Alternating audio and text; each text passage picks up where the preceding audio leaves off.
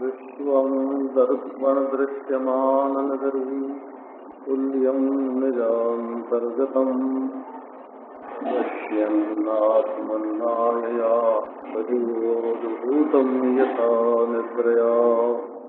यत्साक्षात् कुरुते प्रबोधसमये स्वात्मानमेवात्वयम् तस्मै श्रीगुरुमूर्तये नम इदम् श्रीदक्षिणामूर्तये आनन्दब्रह्मविद्या मधुरिजनिषवत्तैस्तिरीया गभीरम् मीमांसन्ते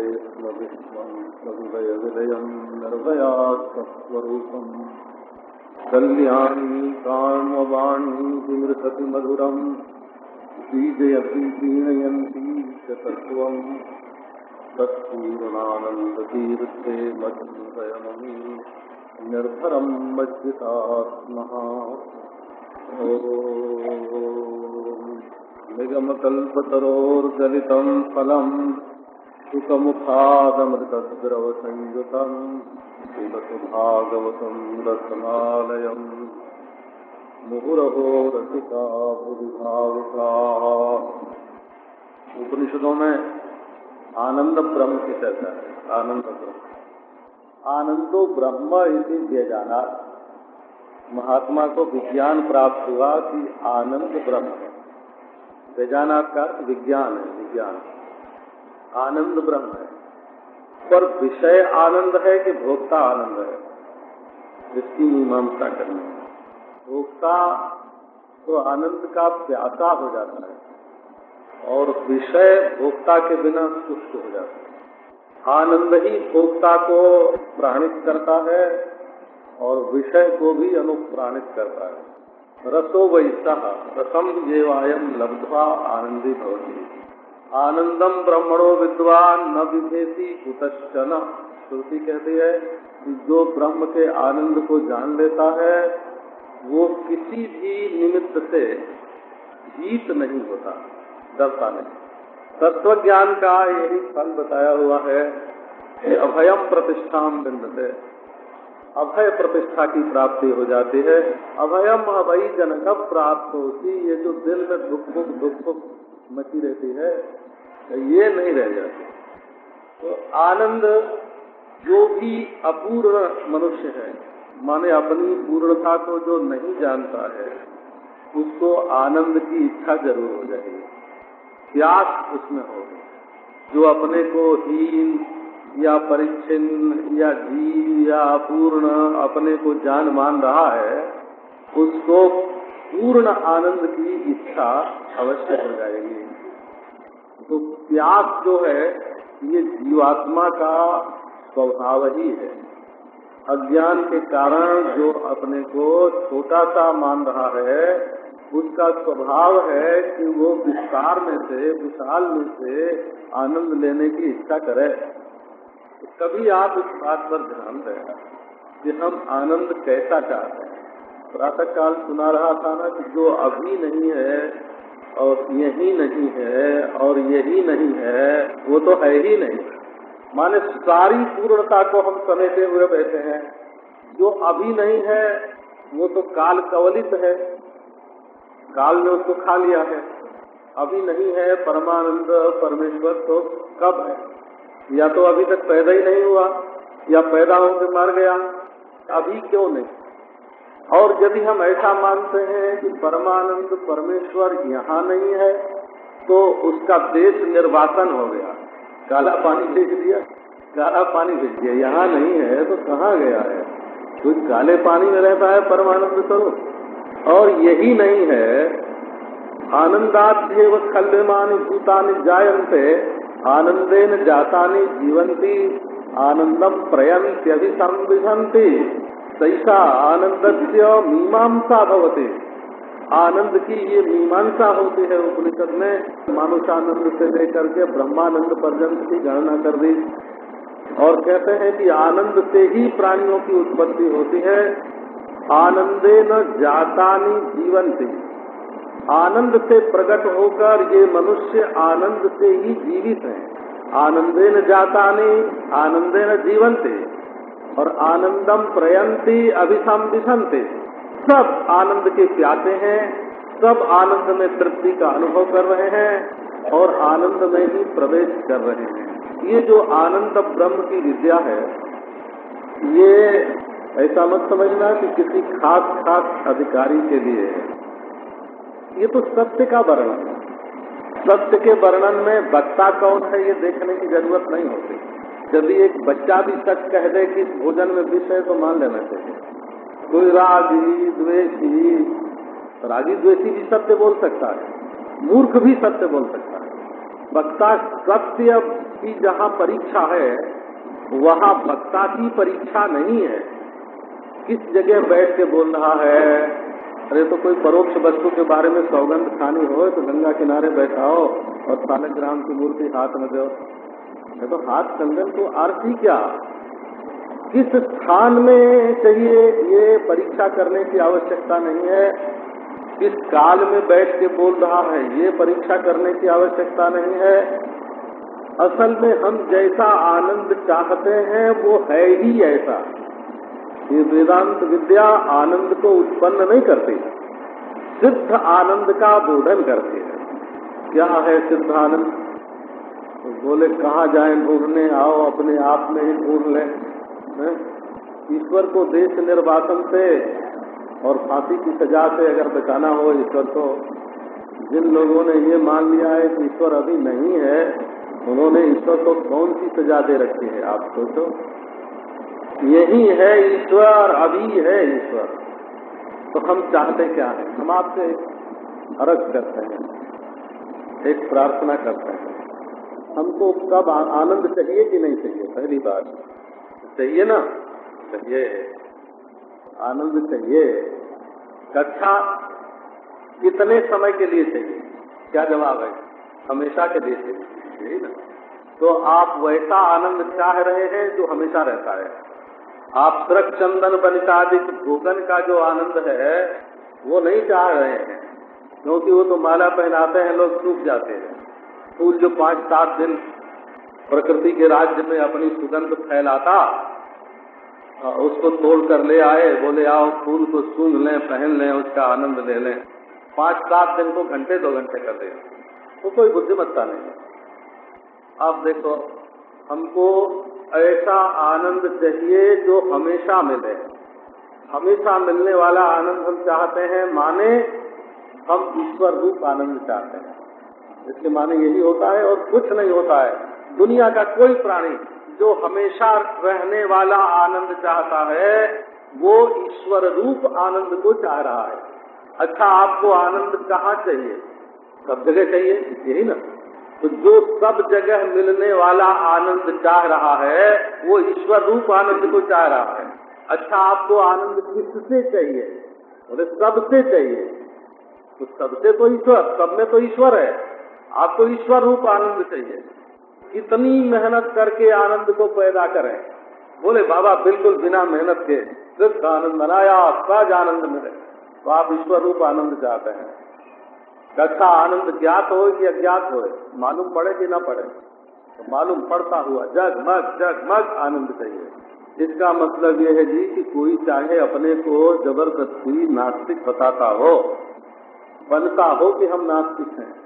लेकिन वो अपनी मांग को न समझ के, अपने स्वभाव को न समझ के, अपने को नास्तिक बताता है। दुनिया में कोई प्राणी नास्तिक हो ही नहीं सकता, क्योंकि वो ऐसा आनंद चाह रहा चाह रहा है, जो सब समय हो, सब जगह हो, सब वस्तु में हो, अनायास हो, ज्ञात हो, ऐसा आनंद चाह रहा है। तो ऐसे आनंद का जो आविर्भाव है ना आविर्भाव है, मैंने पता हट जाना। उसी को श्री कृष्ण जन्म कहते हैं। वो केवल देवकी के सामने नहीं होता, केवल वसुदेव के सामने नहीं होता। हम सब, जहाँ अंतकरण है, वहाँ वसुदेव है। जहाँ सूक्ष्म बुद्धि है, वहाँ देवकी है। और जहाँ देवकी, वसुदेव दोनों है, वहाँ श्री कृष्ण का आविर्भाव है। अच्छा और वो किसी देश में हो सकता है, किसी काल में हो सकता है, किसी निमित्त से हो सकता है, बिना परिश्रम से हो सकता है। और केवल जैसे पर्दा हट गया, ऐसे पर्दा हट गया, श्री कृष्ण जन्म, श्री कृष्ण जन्म माने स्वतः सिद्ध परमानंद का आविर्भाव। आनंदम ब्रह्मणो विद्वान, न विभेद श्री कृष्ण हमको निर्भय बनाने के लिए प्रकट होते हैं। अभयम तत्व संशुद्धि ज्ञान योग व्यवस्थित अभय की शिक्षा देने वाले अभय को प्रकट होने वाले करने वाले, निर्भय। हम परमानंद, मिल गया परमानंद, हम सोते परमानंद में, जागते परमानंद में, बोलते परमानंद में। तो प्यास है जीव का धर्म और तृप्ति है परमानंद है ईश्वर का धर्म जीव ये सोचता है कि जब ईश्वर का दर्शन हमको होगा, तब परमानंद की प्राप्ति होगी। जब तक न अपने स्वरूप को जानता, न ईश्वर के स्वरूप को जानता, परोक्ष विश्वास वाला मामला चलता है। तो जब जीव की प्यास और ईश्वर की तृप्ति, इन दोनों का जब मेल होने लगता है, ब्याह होने लगता है, तब प्रेम प्रकट हो जाता है। प्रेम माने प्यास और तृप्ति, इन दो तत्वों का सम्मेलन। इन दो तत्वों का गठबंधन गठो प्यास। प्यास है फिर तृप्ति है, और तृप्ति है फिर प्यास है। प्यास है फिर तृप्ति है। जन्म अवधि हम रूप निहारे नो नैन ना व्यवसित है। जन्म भर हम सारे श्याम सुंदर का रूप देखते रहे। परंतु तृप्ति एक क्षण के लिए भी नहीं सत्यनारायण कथा पढ़ते हैं ना, इसी श्री स्कंद पुराने रेवा खंड है। सत्यनारायण व्रत कथायाम पंचमोध्याय तो ज्ञान कथा का तो इसी श्री स्कंद पुराने है। परंतु प्रेम कथा का इसी श्री स्कंद पुराने नहीं है। इसमें पंचमोध्याय कभी नहीं है। अनंत है, अविच्छिन्न है। प्रतिक्षण वर्धमान है। प्रेम प्रेम कोई ऐसी वैसी चीज़ नहीं है। यही त्याग और तृप्ति निरंतर श्री कृष्ण को प्रकट करती रहती है। कृष्ण कितने होते हैं? हमारी पृथ्वी में जितनी बार कृष्ण हो आते हैं, उतनी बार जन्म लेते हम उतनी बार वसुदेव देवकी हो जाते हैं, जितनी बार हमें अपने हृदय में श्री कृष्ण के दर्शन होते हैं। अब तक हम करोड़ों बार देवकी वसुदेव हो चुके हैं। और हमारे हृदय में है, श्री कृष्ण का जन्म हो। हमारे दिल में नहीं है तो कथा में होने की क्या हो? दिल में होने तो भगवान के आविर्भाव से समग्र विश्व सृष्टि परमानंद में मग्न हो जाते प्रातः काल सुना श्री कृष्ण जन्म तक अथ गर्भ गुणोपेत आल परम शोभन जर्जेवा जन जन मर्क्षम शांतर्कग्रहतारकम काल ने कहा कि इससे बढ़िया दिन मेरे जीवन में कभी नहीं आए क्योंकि जो कालातीत है, वो देवती बंधुओं के संबंध से हमारी गोद में प्रकट हो रहा है। माने श्री कृष्ण केवल देव की वसुदेव की गोद में नहीं प्रकट हो रहे हैं, काल की गोद में भी प्रकट हो रहे हैं। द्वापर क्या है? काले तो द्वापरांत क्या है? भादो महीना सावन भादो महीना क्या है? पहले श्रावण है, फिर भाद्र। श्रावण कान से होता है और भाद्र हृदय से होता है। भवत रमयती भद्रम भद्र में भाद्रम और श्रावती श्रावणा। पहले श्रवण करो, तब तुम्हारे हृदय में परम मंगल, परमानंद स्वरूप प्रभु का उदय होगा। ये ब्रह्म तिथि। ये ब्रह्म तिथि है। अच्छा जो वेदांति लोग कहते हैं कि हमारे हृदय में प्रमा तो हुई है, प्रमा तो जानते हैं? प्रमा। यथार्थ अनुभव। जो चीज़ जैसी है, उसको वैसे ही अनुभव करने का नाम प्रमा है। बोले हमको यथार्थ अनुभव हो गया, प्रमा हो गई। तो उससे पूछो कि तुम्हारी गोद में ब्रह्म आया कि नहीं आया? अरे महाराज, कहीं ब्रह्म गोद में आता है? का अभी कुछ नहीं, अभी तुम तो वेदांत नहीं जानते हो। वेदांत तो तभी होगा जब एक बार ब्रह्म शिशु बनकर तुम्हारे हृदय में स्थित जो प्रमा है, उसके पेट में आएगा प्रमा के पेट में आए बिना वो अविद्या की निवृत्ति नहीं करेगा। अब के पेट में आए बिना वो संसार के दुख का निवारण नहीं करेगा। वो है वह कहने से कुछ काम नहीं चलता। है, होगा। है है, क्या करेगा? अरे, अपने हृदय में, तुम के रूप में, मैं के रूप में, यह के रूप में कैसे भी उसका अनुभव होना चाहिए कि है, सातवें आसमान में है ना करे उस है से काम नहीं चलेगा। अपने हृदय में भी निराकार ईश्वर बना रहे तो क्या काम चलेगा? जो स्वामी तुलसीदास जी ने तो कह दिया है अत प्रभु हृदय अछत अधिकारी, सकल जीव, सकल हाँ सकल लोग जग जीव, दुखारी। ब्रह्म तो हृदय में बैठा है, निराकार रूप से, और लोग हाय हाय हाय हाय चीज़ पुला पुकार मचाए हुए क्योंकि तुम्हारे दिल का ब्रह्म कहाँ गया? कहाँ गया तुम्हारे हृदय वाला? ब्रह्म जो बैठा हुआ है, निराकार, निर्विकार रूप से, वो कहाँ गया? तुम हाय हाय क्यों कर रहे हो? तो असल में वो ब्रह्म शिशु प्रकट नहीं हुआ। ब्रह्म तो पहले से है। ब्रह्म तो पहले से है, पर ब्रह्म शिशु नहीं हुआ। श्यामी भूतम ब्रह्म मैं तम निधत्ता कुंजीभूतम प्रेम गोपांगना नाम गोपांगनाओं का कुंजीभूत प्रेम है। भूतम भाग धेयम यदूनाम जदुवंशियों का भाग धेय एक बन करके आ गया है। मूर्ति भूतम मूर्ति भूतम गुप्त वित्तम श्रुति नाम श्यामी भूतम ब्रह्म, श्रुतियों का गुप्त गुप्त प्रकट हो गया है। श्यामी भूतम ब्रह्म, ये ब्रह्म श्याम हो गया है, श्याम ब्रह्म। श्यामा सबलम प्रपद्ये, सबला श्यामम प्रपद्ये, श्रुति कहते हैं। ज्ञानुभूत जो ब्रह्म है, उस ब्रह्म का आविर्भाव है। काल में कहा देवकी वसुदेव की गोद में नहीं, हमारी गोद में आ रहा है। तो जब कोई अपने घर में भले मानुष आने वाला हो तो जैसे अपना श्रृंगार कर लेते हैं, वैसे काल में अपना श्रृंगार किया। और श्रृंगार दो तरह का है। सर्वगुणों पेता ये आंतर श्रृंगार है। सदगुणों को धारण कर दिया और परम शोभना ये बाह्य श्रृंगार है। समय बाहर के सुहावना हो गया और सबके हृदय में सदगुण प्रकट होने लगे।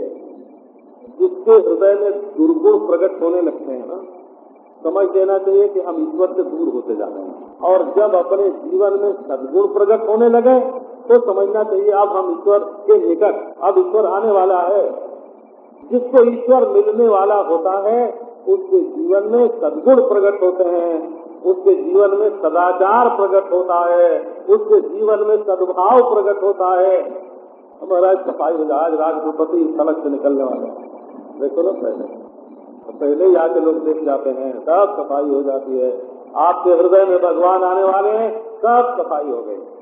परम शोभना जन ये वा जन जन्मर्कम शांतर सग्रह तारकम अब ये हुआ कि भगवान समय कौन सा सुने? तो जो श्रवण कर चुकता है, उसी के हृदय में भगवान प्रकट होते हैं। इसलिए या तो यो कहना पड़ेगा कि श्रवण से भगवान प्रकट होते हैं। ये हमारे गुजराती महाराष्ट्र, दाक्षिणात्य, ये सब लोग, जिस अष्टमी को हम लोग भाद्र अष्टमी बोलते हैं ना, उसको वे लोग श्रावण कृष्ण अष्टमी बोलते हैं।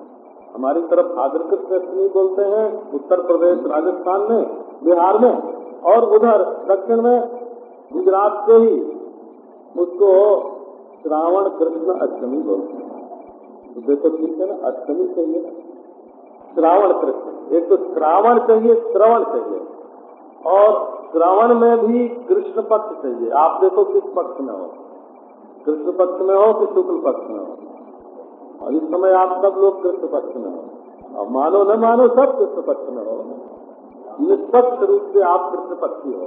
तो अच्छा श्रावण। श्रावण में कृष्ण पक्ष। कृष्ण पक्ष का बहुत गंभीर अर्थ है। भगवान शुक्ल पक्ष के प्रेमी इसमें कोई संदेह नहीं। माने एक ब्लैक पक्ष होता है ना, और दूसरे को क्या बोलेंगे? हाँ व्हाइट तो व्हाइट से तो बहुत पक्ष पाते हैं भगवान। राम का जन्म भी शुक्ल पक्ष में वामन का जन्म भी शुक्ल पक्ष में नरसिंह का जन्म भी शुक्ल पक्ष में, बुद्ध का जन्म भी शुक्ल पक्ष में, ये तो सब शुक्ल पक्ष में आते हैं। भगवान ने कहा कि हमने जन्म तो बहुत लिए शुक्ल पक्ष में, लेकिन एक पक्ष खाली रह गया। अब उनका भी उद्धार करना चाहिए। शेष साहूकारों का उद्धार तो करने वाले बहुत लोग हैं।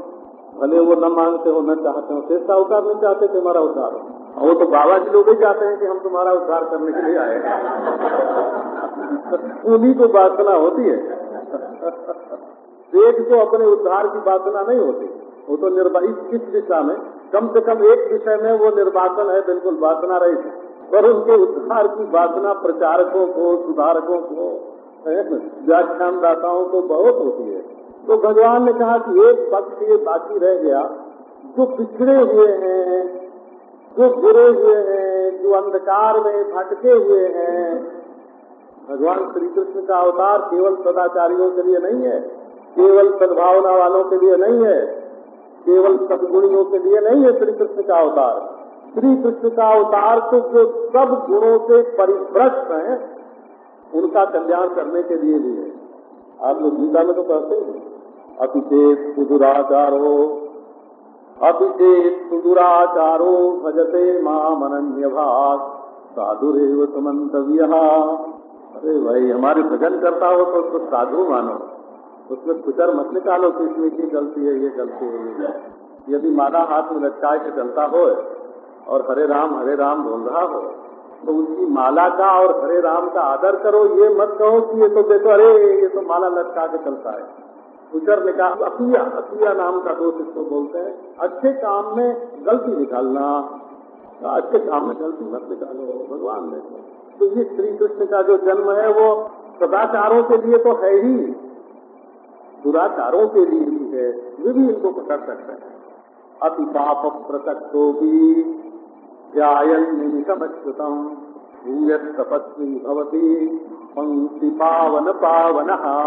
हमारे स्मृति ग्रंथों ने कहा कि अत्यंत पापी पुरुष भी, यदि एक निमेश के लिए भगवान का ध्यान करे तो भूयत तपस्वी होती फिर से वो तपस्वी हो जाता है और पंक्ति पावन पावन। तो ये मत समझना कि भगवान ने अपने से प्रेम करने के लिए तो सबको बुला लिया। क्या विजाति, क्या सूत्र इसको विद्या भी बच सकती है। इस भजन में विद्या को भी सुचिता, क्या सज सकती है?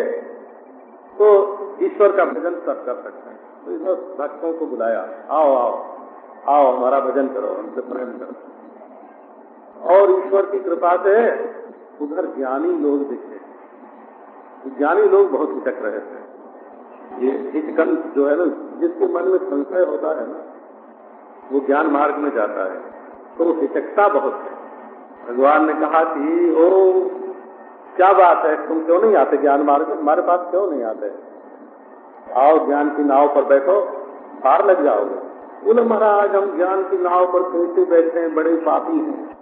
तो उन्होंने उनको भी कह दिया अपीचे रति पापे सर्वे पाप कृतम सर्वम ज्ञान प्लवे नैव वृजिनम संतरिष्यति सर्वे पापे संसार में जितने पापी हैं, उन पापियों का वर्गीकरण कर दो और उनमें तीन पापी छांट लो। हज़ार रुपए का इनाम इस पापी को दो बड़ा है और दस हज़ार का इनाम इस पापी को दो, उससे भी बड़ा है। लाख रुपए का इनाम इस पापी को दो, उससे भी बड़ा है। पाप कृतरा पाप कृतमा पाप कृतरा पाप कृतमा तरफ़ तमप हो गया। अरे देखो, ये तो पाप कृतम अरे भगवान ने ऐसा कठोर बोला है, आप ध्यान दो तो मालूम पड़ेगा। जो और अर्जुन कहीं तुम्ही वो हो गए तो। ऐसे है ना, श्लोक में देखो, ऐसे है कि नहीं है? ऐसी है। अभी छेद अति में जो अति क्रिया है ना, अति क्रिया पद है, वो कहता है कि अर्जुन दुनिया के सब पापियों में से तीन सबसे बड़े पापी और उन तीनों में भी सबसे बड़ा पापी, अगर तुम ही हो। ये ये कोई कम प्रेम की बात नहीं है इस पर तो ब्रजवासियों का प्रेम जैसे होता है ना। उससे भी ज़्यादा प्रेम अर्जुन से है। आओ, ज्ञान की नाव पर बैठ जाओ। सर्वम ज्ञान प्लवे नहीं सर्वम ब्रजिनम सारे पाप ताप को पार कर जाओगे। पाप से छुड़ाने का ठेका है। ज्ञान प्लवे नैव।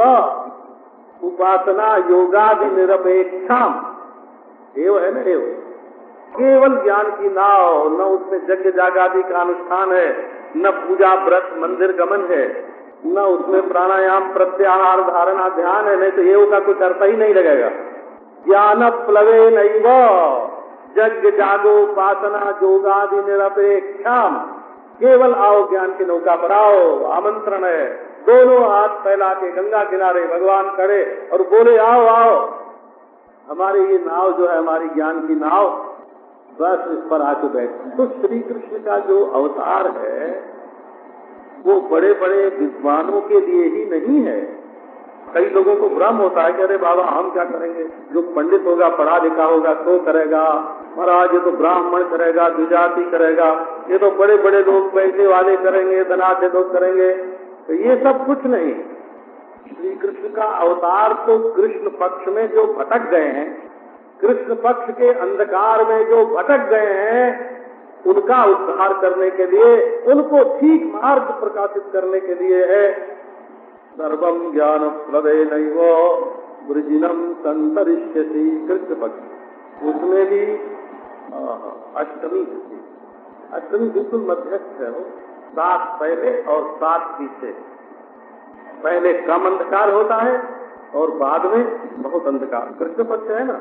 तो अमावस्या की तरफ़ घना अंधकार है और प्रतिपदा की तरफ़ हल्का अंधकार है।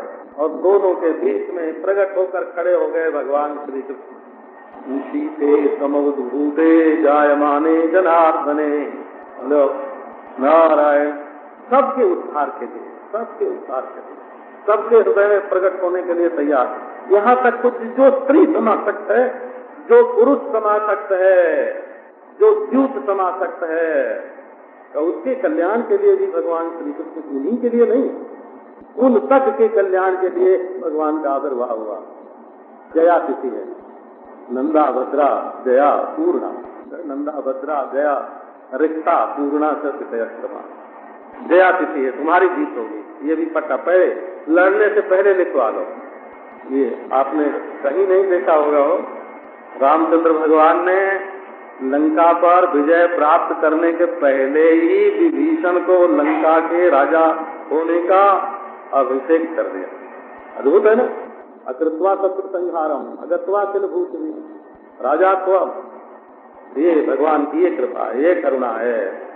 तो भगवान का जो अवतार होता है, वो केवल शुभ कर्म करने वालों के लिए ही नहीं होता। शुभा शुभ फल देवम मोक्ष से कर्म बंधन ही सारे कर्म बंधन से छुड़ाने के लिए होता है, और भक्त की जय होगी। ये देखो अर्जुन को लिख के दे दिया। आपने गीता में पढ़ा कि लिख दिया भगवान। युद्धस्व, जेतासी रणे सपतना अर्जुन लड़ो, तुम युद्ध में शत्रुओं पर विजय प्राप्त करोगे।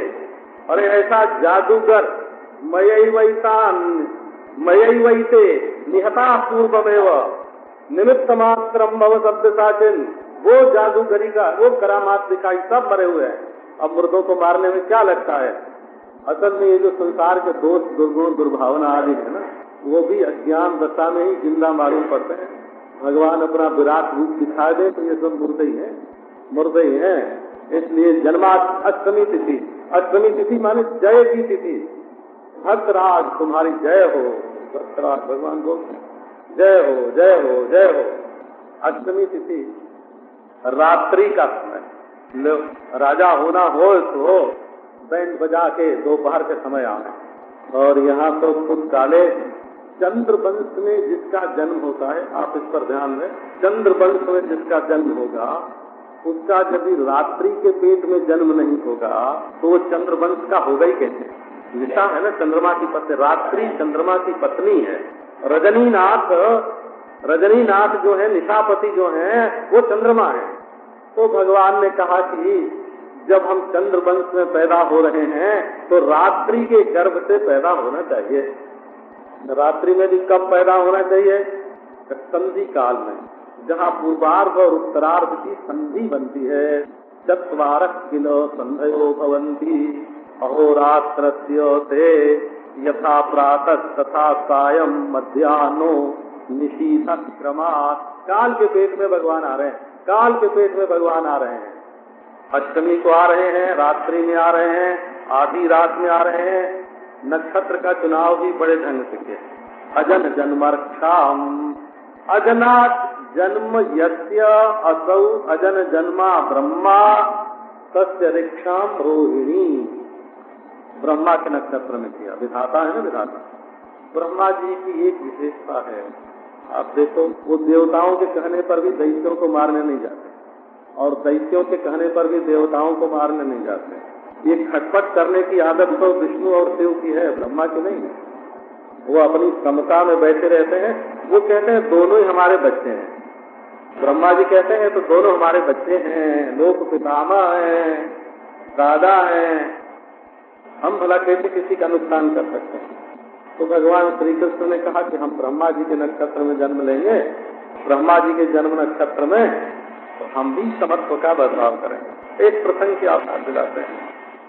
ईश्वर की कृपा से पैदा हुए परीक्षित ये भागवत की कथा नहीं है, महाभारत की तो मरे हुए पैदा हुए। भागवत में इसकी सूचना है? द्रौण्यत्र विप्लुष्टमिदम मदंगम संतान बीजम कुरु पांडवानाम युगोपकुक्षिंगत आत्मचक्रो मातुष्ट में यह शरणंगताया द्रौण्यस्त्र विप्लुष्टम विप्लुष्टम दग्धम प्लुष्टाय विप्लुष्टम दग्धम बिल्कुल ब्रह्मास्त्र से जला हुआ मांस पिंड उत्तरा के पेट से प्रकट हुआ। हाय हाय, मच गई कि पांडव वंश का नाश हो रहा है। सब लोग गए देखने श्री कृष्ण भी गए नेचकार करने। ये हुआ कि बस पांडव वंश का अंत। तो उस समय श्री कृष्ण ने जो अमृत वचन कहे हैं, जो उनकी अमर वाणी है, वो ध्यान में लाने लगे उन्होंने कहा कि संपूर्ण महाभारत युद्ध में अर्जुन के रथ का सारथी होने पर भी यदि मेरे मन में कौरव और पांडव पक्ष के प्रति राजद्वेश न हुआ हो, बिल्कुल तो मेरी इस समता के बल पर ये मरा हुआ बालक जीवित हो जाए। ये महाभारत में। इनका नाम श्री कृष्ण है, लोग तो श्री कृष्ण का जीवन तो करते नहीं। उनकी ब्रह्मता को देखो और फिर माखन चोरी को मिलाओ। तब मालूम पड़ेगा कि ये कितना बड़ा अनुग्रह है। पारम पारमैश्वर्य है। एक और पारम पारमैश्वर्य है और एक और माखन चोरी है। एक और नित्य तृप्ति है। एक और गोपियों से छेड़छाड़ है। एक और नित्य शुद्ध बुद्ध मुक्त है और एक और झूठ बोलता है। नाम बक्षितवाद मैंने माटी नहीं खाई ये पार, इसका नाम पारमैश्वर्य है। इतने बड़े को ऐसा करने की क्या ज़रूरत है? अरे अपने प्रेमी के प्रति जो करुणा है जो वात्सल्य है उसके कारण करने की ज़रूरत है। उसको ये डर नहीं लगता था कि हमारी हमारी महात्मा गिरी छिन जाएगी। ये डर तो कृष्ण को नहीं डर लगता था कि हमारी महात्मा गिरी छिन जाएगी। अरे उसको तो कहा है किसी ने ओ चोर! तो घूम के देखने लगे। बोले, भाई, आज तो तुमने बड़ा आनंद दिया। तो कैसे? इस नाम से तो हमको किसी ने पुकारा ही नहीं था। तुमने बढ़िया नाम रख दिया हमारा। तस्कराणाम पते नमो नमः। सेनानाम पते नमो नमः। ये यजु मंत्र है, यजुर्वेद के मंत्र है। अरे तुमने तो भाई, अद्भुत कर दिया, अद्भुत। तो जन्माष्टमी तिथि, आधी रात, रोहिणी नक्षत्र। तुम एक बात देखो, एक अन्याय जो हुआ था, वो क्या अन्याय हुआ था कि जिस समय श्री कृष्ण अवतार का प्रसंग आया, उस समय देवकी के गर्भ में बलराम जी थे और रोहिणी का पेट खाली था। दोनों वसुदेव की पत्नी तो होना चाहिए कि देवकी के पेट से न आए तो रोहिणी के पेट से आ जाते पर बोले, नहीं, देवकी के पेट से निकाल के बलराम जी को रोहिणी के पेट में भेज दिया। और स्वयं देवकी के पेट में आए। तो रोहिणी कहेगी ना कि, प्रभु, आप भी पक्षपात करते हैं, पक्षपाती हो। बोले कि, नहीं, देवकी से तो हमारा गार्भिक जन्म हुआ और नाक्षत्रिक जन्म रोहिणी से हुआ। रोहिणी नक्षत्र चुन लिया। ये वही देवकी की जो टॉप है, रोहिणी।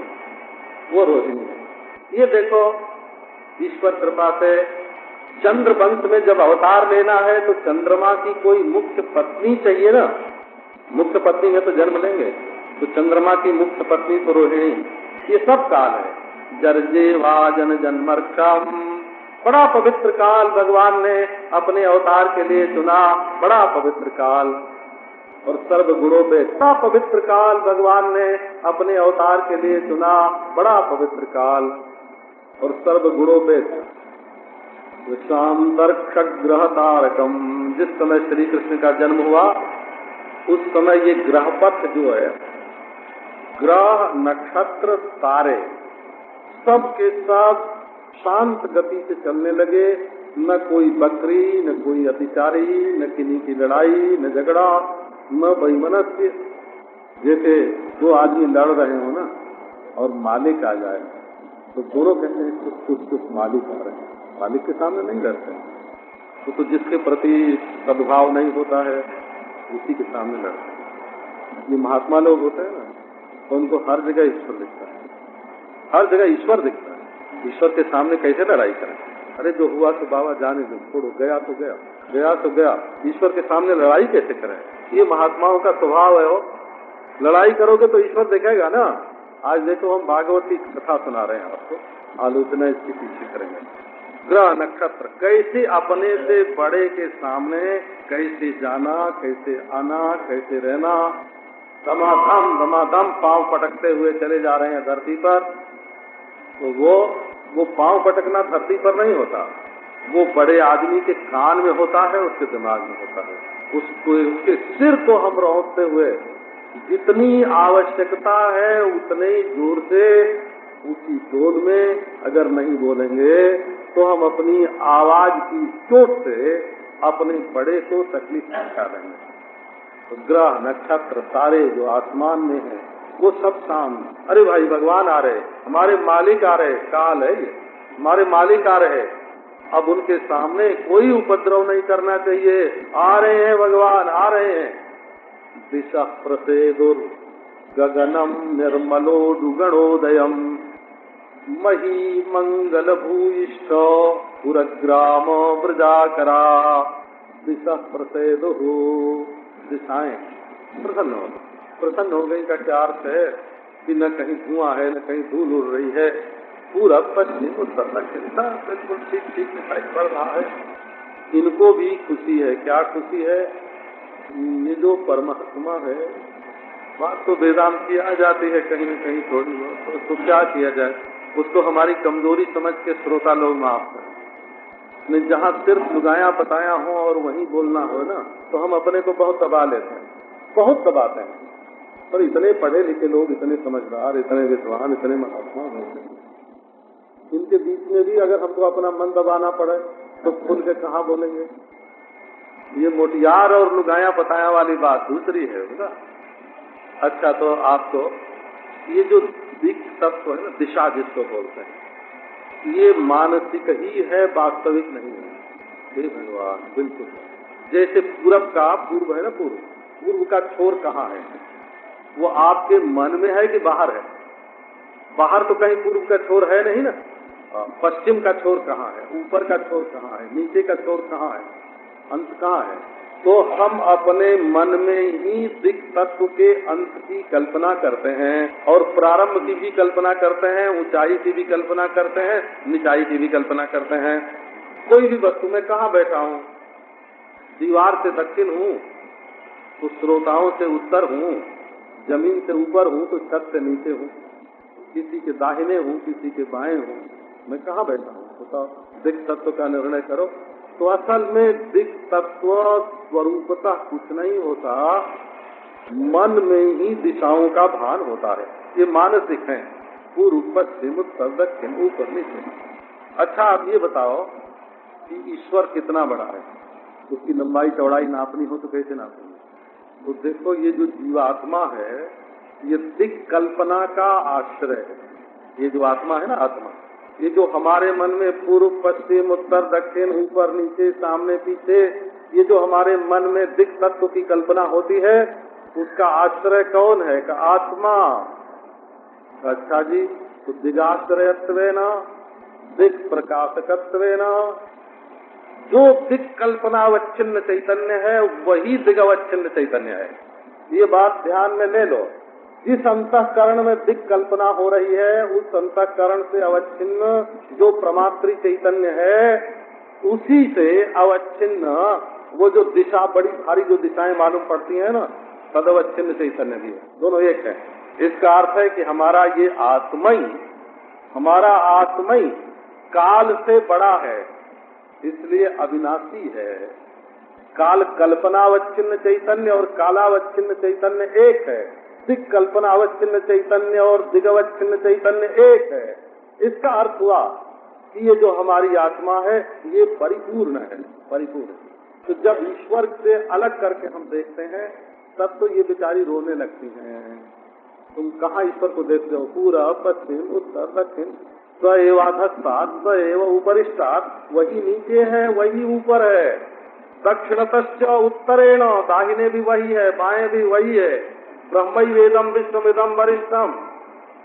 तो दिग में तो अन्वय दिशा में तो ब्रह्म का अन्वय है, और ब्रह्म में दिशा का व्यतिरेक है, और अद्वितीय ब्रह्म में जब दिशा है ही नहीं तो वहाँ न अन्वय है न व्यतिरेक है।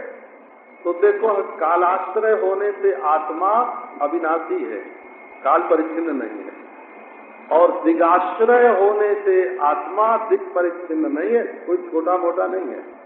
और निखिल प्रपंचाश्रय होने से, जो प्रपंच कल्पनावच्छिन्न चैतन्य है, वही प्रपंचावच्छिन्न चैतन्य है। ये संपूर्ण विश्व सृष्टि आत्मा से पृथक नहीं है। तो भगवान ये दिशाओं को ईश्वर से अलग करके देखना, ये दिशाओं को रुला देना, हमको बड़ा दुख देना है। कभी कभी हम अनजान में कभी कभी अनजान में ये पाप करते हैं। जो यथा संतमात्मान अन्यथा प्रतिपद्य थे। वस्तु है कुछ, और उसको समझते हैं कुछ। ये सारी दिशाएँ परमात्मा की गोद में है। पूरब, पश्चिम, उत्तर, दक्षिण, ऊपर, नीचे, सब परमात्मा की गोद में है।